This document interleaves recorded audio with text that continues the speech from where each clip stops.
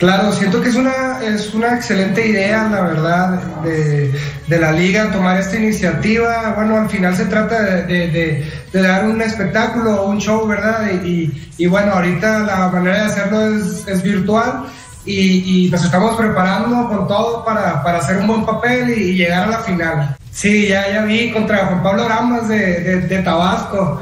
Pues que entrene porque no la tiene fácil.